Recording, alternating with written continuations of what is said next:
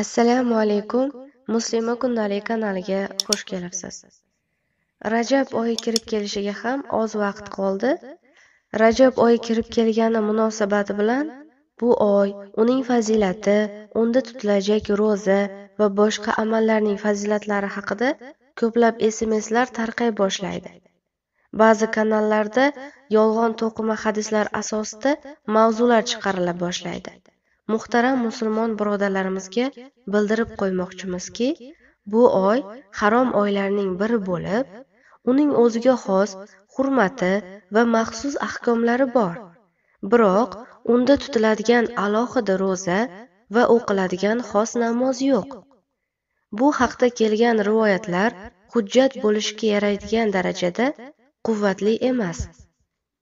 Ularning aksari zaif bo'lsa, ayrimlari to'qimadir. Shuning uchun bu oyda tutilgan ro'zalarga beriladigan olam-olam ajrlar haqida yozilgan narsalarni o'qib, unga aldanib qolmanglar. Bo'lmasa, Rajab oyida qanday ibodatlar qilish mumkin degan savol tug'ilishi tabiiy. Bu savolga javoban aytishimiz mumkinki, Rajab oyida ham har oydagi kabi payshanba va dushanba kunlari va har oyda uch kun tutiladigan ayyomul bis oydin kechalarning ro'zalarini tutish mumkin.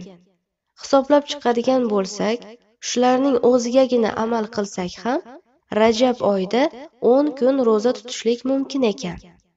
Lekin ba'zi bir ma'lumotlarda kelganiday, Rajab oyining 27-kuni ulug' kun, bu oyda kechasi qoyim bo'lish kerak Rajab oyida ro'za tutgan insonga jannatda bir qasr bino qilinadi.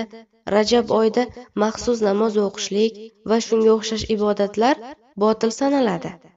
Ya'ni Rajab oyining ro'zasi, maxsus rag'oyib va alfiya kabi namozlar va bu oyning 27-sini Isro va Meroj kechasi deb o'ylab, bayramday o'tkazish va Laylatul Qadr kechasi kabi ibodat bilan o'tkazish kerakligi haqidagi hadislarning hech biri Rasululloh sollallohu alayhi vasallamdan sobit bo'lmagan. Bular to'qima hadis hisoblanadi. Eslatib o'tamizki, bu oyda ibodatlarni ko'paytirishlik yoki nafl ro'zalarni tutishlikning zarari yo'q. Ammo Rajab oyini ulug'lash ma'nosida emas.